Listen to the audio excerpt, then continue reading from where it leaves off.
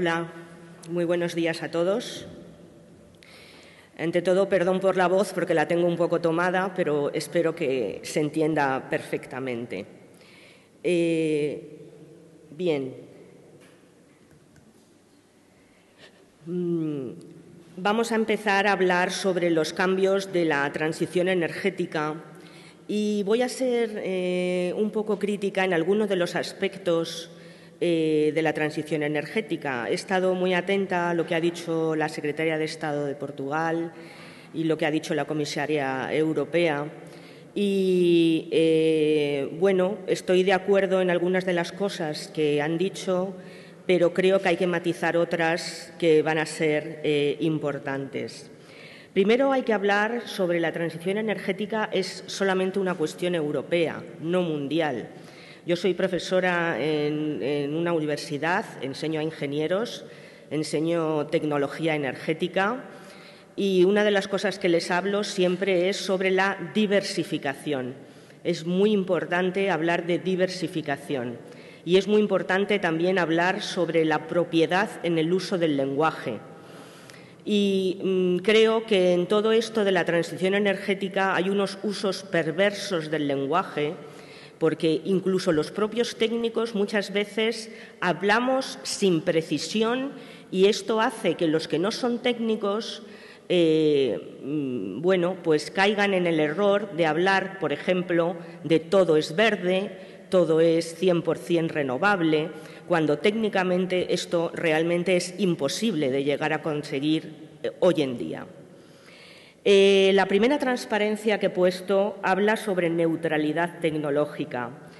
Eh, ¿Por qué? Porque es la primera vez que en Europa se ha roto el principio de neutralidad tecnológica, precisamente bueno, con una de las noticias que eh, hace poco nos mm, llamaban desde todos los centros de comunicación y nos decían que en el 2035 ya no iba a haber coches de combustión interna alternativos. Esto rompe totalmente el principio porque el problema no son los coches de combustión interna, sino el problema son las gasolinas, que son las que realmente, los combustibles, los que realmente contaminan, no los motores. Y volviendo de nuevo al, al concepto de transición energética, el primer punto que marcaba aquí es que se buscan soluciones únicas sin respetar la neutralidad tecnológica. El buscar soluciones únicas va en contra del principio precisamente de buscar soluciones transversales y buscar soluciones diversas, porque siempre que nos centramos en una única solución, si hay algún problema, como hemos estado viendo, por ejemplo, con el tema de la guerra de Ucrania, problemas con el gas, problemas que podríamos tener, por ejemplo, en España con el gas de Argelia, eh, pues nos podríamos quedar sin gas. Y si todo lo, tenemos apostado al gas, pues nos podemos caer con el equipo. Eh, dentro del mix energético se está hablando de ir hacia una solución 100% renovable. Y yo decía al principio que esto técnicamente es imposible, llegar a una solución 100% renovable porque eh, hablar de eh, tecnologías renovables, sobre todo de la solar y de la eólica, implica que necesitamos una tecnología de respaldo, que en el caso de España es el gas. Por tanto, si necesitamos gas, ya no es 100% renovable. Entonces, eh, esto no podemos ir a una única solución, aparte de otros problemas técnicos que no me quiero meter en la conferencia de hoy, pero sería imposible llegar a más, como estaba diciendo la secretaria de Estado antes, eh, de un 80%. Yo diría que más de un 70% eh, de introducción de tecnologías renovables en un mix energético daría problemas de estabilidad del sistema y podría llegar a problemas de eh, apagones en las redes ante algún problema que pudiéramos tener. Si hablamos de movilidad sostenible, lo mismo. parece ser que la única solución a la movilidad sostenible ahora mismo es el coche eléctrico y nada más lejos de la realidad. O sea, ahora mismo, eh, si queremos hablar de movilidad sostenible, tenemos muchos tipos de movilidad sostenible. Y no podemos confundir a la población diciendo que la única solución para la movilidad sostenible es el coche eléctrico, porque también tenemos el coche de hidrógeno y también tenemos el coche de combustión. Nuestros coches actuales pueden funcionar perfectamente emitiendo cero pero utilizando los e-fuels, los combustibles sintéticos, que aunque es verdad que hoy en día son un poco más caros, pero es exactamente lo mismo que nos pasó a nosotros en España con el tema de la energía solar fotovoltaica, cuando estábamos dando unas primas de 400 y, sin embargo, ahora es la tecnología más barata que tenemos. Es decir, en el momento en el que pasemos la época y lleguemos a la época de madurez de los nuevos combustibles, estos nuevos combustibles se podrán utilizar exactamente igual que utilizamos ahora las, las gasolinas normales en nuestras gasolineras, iremos a nuestras gasolineras con los mismos coches que tenemos actualmente, pero echaremos combustibles sintéticos. Esto realmente, en mi opinión, esa sí es la verdadera transición porque el ir a una solución única de eh, decir que la única solución es el coche eléctrico, realmente esto no se está diciendo así de claro como lo estoy diciendo yo, pero el decir que solamente la única solución es el coche eléctrico implica que no todo el mundo va a poder tener coche particular. ¿Por qué? Porque no hay materias primas suficientes para poder fabricar todos los coches eléctricos que serían necesarios como tenemos en la actualidad. Además, estamos hablando de una transición energética, pero la transición tiene que ser sostenible en el tiempo. Eh, podríamos hablar, mm, propongo otra nueva charla de GALP sobre materias primas críticas, porque sería eh, muy necesario hablar de este tema. No es el tema de hoy, pero eh, sí que eh, quiero eh, por lo menos dar una pincelada de lo que significa esto. Si no va a haber suficientes materias primas para fabricar los coches eléctricos hoy en día, imaginaos la siguiente generación. Es decir, esto no sería absolutamente sostenible en el tiempo. Eh, no solo para los coches, sino, por ejemplo, para los aerogeneradores. Eh, los aerogeneradores eh, modernos necesitan tierras raras, que son otras materias primas críticas muy importantes, lo mismo que los paneles solares. Pero, ¿y si nosotros gastamos todas nuestras tierras raras, que son pocas y que encima vienen de China, en un 98%? Y si gastamos todo eso en esta primera generación de aerogeneradores, ¿qué pasará cuando estos aerogeneradores los tengamos que cambiar? Que no va a haber materias primas suficientes. Por tanto, tenemos que hacer una transición, pero que sea sostenible. Y ahora mismo los inputs que se están dando desde la Unión Europea, desde España, que es el país del que vengo yo, eh, realmente eh, no son inputs correctos y se está confundiendo a la, sociedad. Hablábamos de que se está haciendo y se está hablando de un mix energético único. Eh, por ejemplo, en España tenemos un calendario de cierre de la energía nuclear, de, nuestras centrales nucleares, eh, que es una energía limpia. La comisaria europea ha hablado de energías limpias, pero al mismo tiempo de hablar de energías limpias, ha hablado de energías renovables. Ella tiene en su mente que energías limpias son energías renovables. Y esto es una cosa que tenemos que tener muy en cuenta, porque lo importante no es el cómo hacerlo, sino el para qué hacemos toda esta transición energética. La hacemos para descarbonizar. Y si lo hacemos para descarbonizar, lo que tenemos es que conseguir soluciones que descarbonicen, pero mm, todas las soluciones que descarbonicen tienen que ser válidas. Eh, bien, es una transición impuesta como decía en el segundo punto, es una transición impuesta con una única solución y un único camino. A mí esto de la imposición no me gusta. Eh, y digo que es impuesta porque desde todos los sitios siempre se está hablando de, si hablamos de mix energético, 100% renovable. Si hablamos de eh, movilidad sostenible, todo eléctrico. Eh, esto realmente no tiene nada que ver con un mercado libre. Todas las diversas soluciones, sobre todo las que sean sostenibles, y sostenibles desde mi punto de vista son aquellas que son medioambientalmente sostenibles, socialmente sostenibles y económicamente sostenibles, y hay que dejar que compitan todas las soluciones sostenibles entre ellas y luego que gane la mejor o que gane un grupo, un, mix de todas estas soluciones sostenibles, porque yo creo que al final todas las soluciones que sean sostenibles las vamos a necesitar. Hay errores como estos que estoy eh, diciendo que no solamente las está cometiendo España, también la Unión Europea. Insisto que mis propios alumnos cometen estos errores al hablar del lenguaje con no precisión.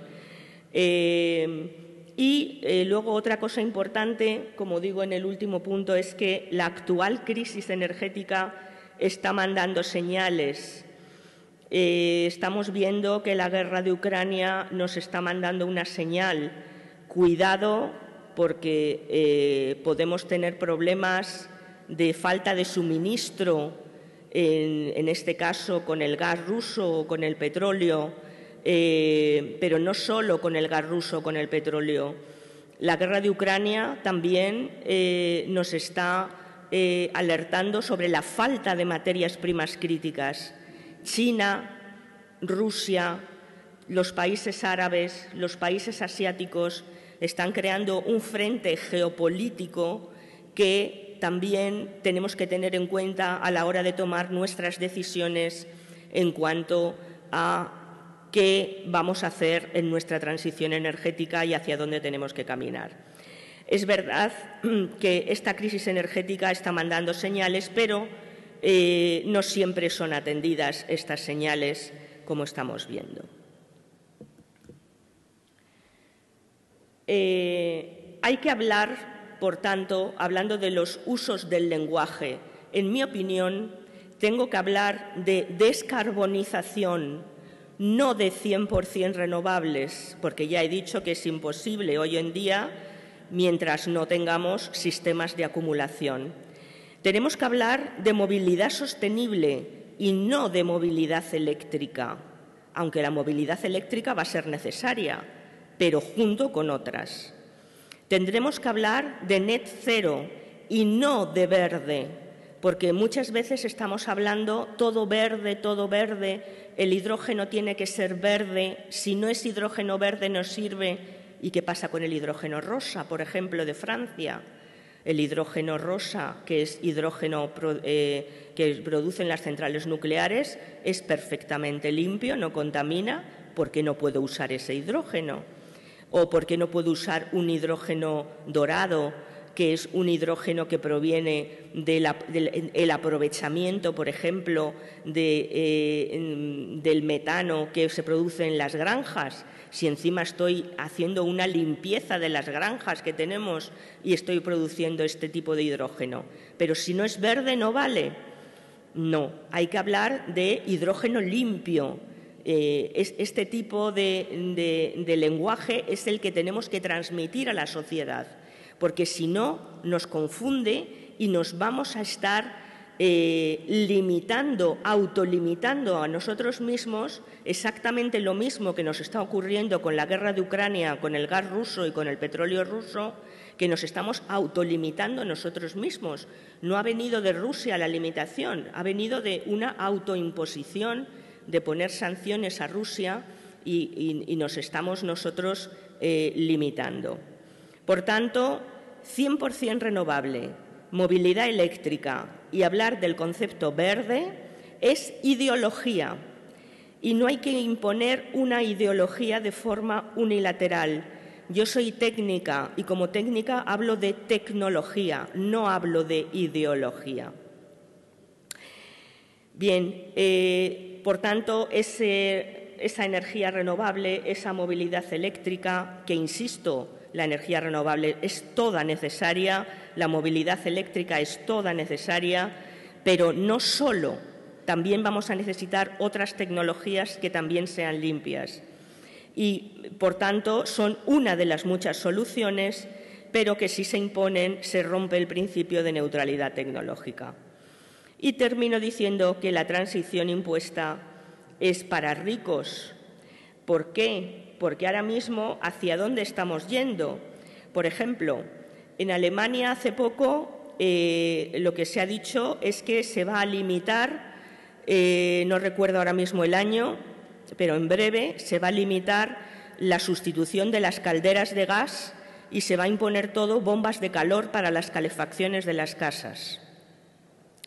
Bueno, pues todo el mundo sabe o debería saber que las bombas de calor eh, son muy eficientes siempre y cuando se ponga y se utilicen con suelo radiante, no con radiadores. Se pueden utilizar con radiadores, pero la forma más eficiente de la utilización de bombas de calor es con suelo radiante. Pero tú en una casa que ya está construida no puedes poner una bomba de calor con suelo radiante, la tienes que poner con el sistema de radiadores que existe. Entonces, todo esto lo que va a hacer es que eh, bueno, pues cuando llegue el límite de la prohibición de instalar y de cambiar las calderas, todo el mundo, en primer lugar, va a extender la vida útil de sus calderas lo máximo posible, con el consiguiente peligro que va a haber, y, en segundo lugar, pues vamos a tener una bajada de la eficiencia de, eh, en esas familias que tengan que cambiar su caldera por bomba de calor. Eh, por tanto, ya vamos a tener que cambiar un sistema, tenemos que hacer una serie de inversiones y esto no lo va a poder hacer todo el mundo.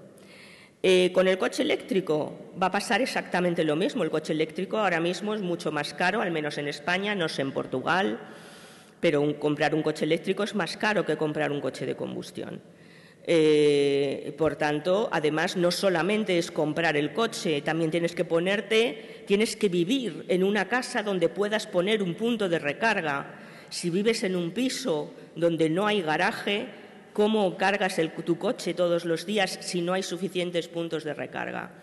Es decir, se tienen que hacer una serie de inversiones muy, muy grandes para poder eh, utilizar este tipo de, este tipo de tecnologías. ¿no? Y por eso digo que es eh, unas soluciones para ricos.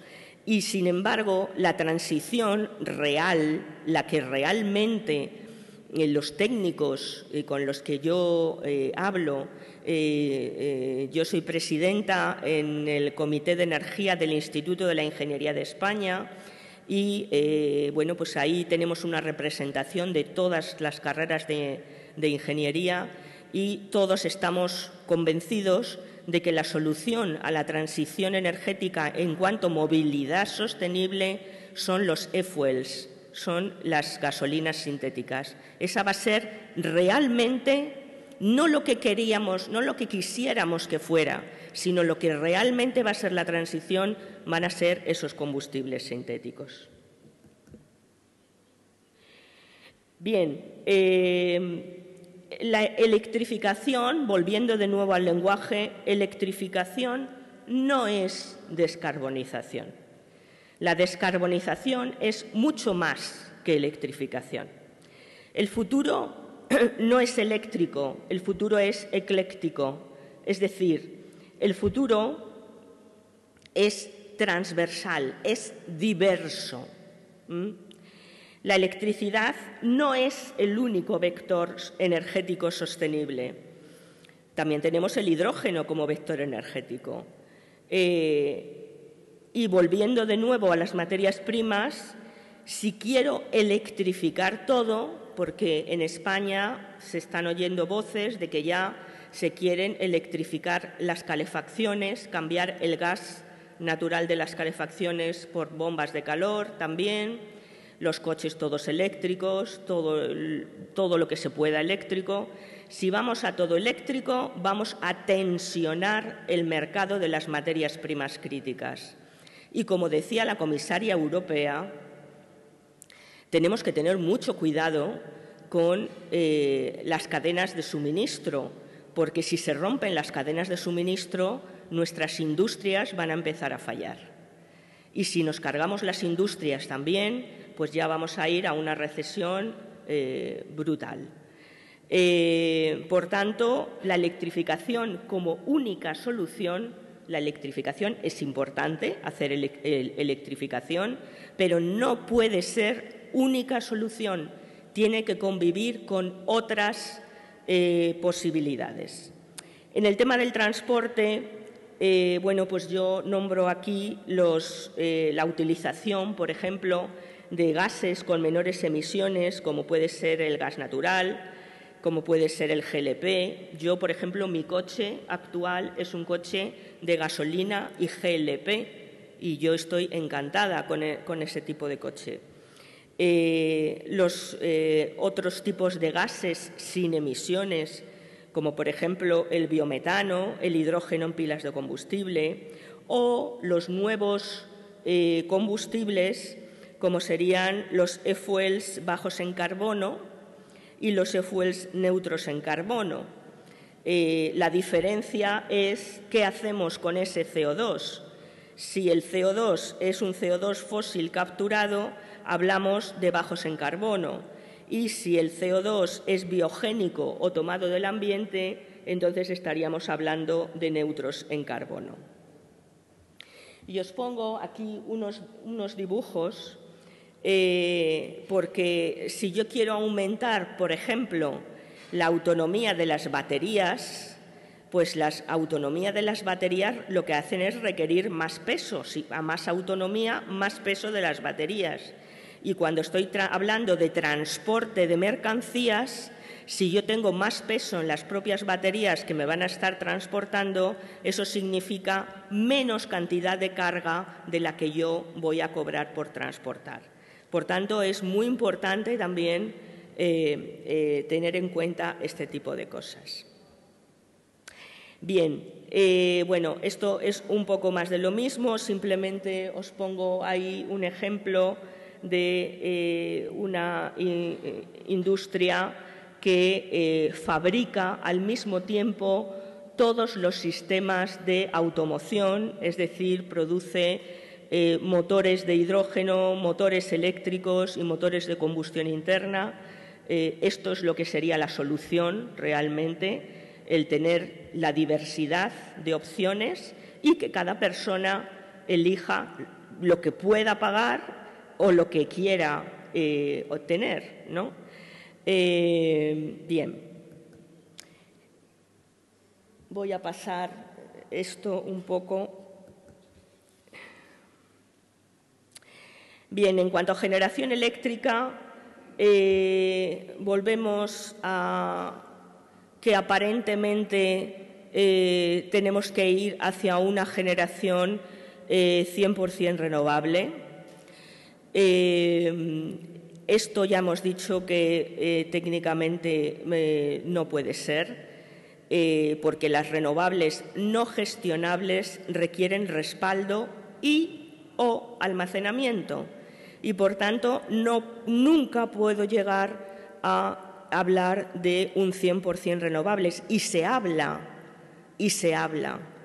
Nosotros tenemos eh, en la isla del Hierro, en España, se habla de que es una isla autónoma por energías renovables. Es mentira.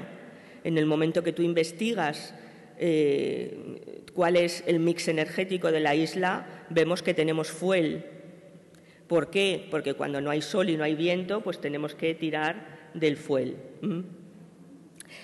Hay pocas inversiones actuales en almacenamiento, hay una falta de mercado y, eh, por tanto, eh, tampoco hay I más D suficiente, no hay innovación suficiente en un área que tendría que ser muy importante invertir en innovación, porque eh, si no hay innovación, si no hay más de, si no hay inversión en lo que sería todos los sistemas de almacenamiento de las renovables, nunca vamos a poder llegar a eh, una penetración masiva de energías renovables en, nuestros países. La decisión española, si vemos el Plan Nacional de Energía y Clima en España, eh, es verdad que se va hacia una penetración muy elevada de energías renovables, pero se mantiene al mismo tiempo los 26 eh, eh, megavatios correspondientes a los ciclos combinados. Es decir, vamos a necesitar el gas. No se cierra absolutamente nada de gas.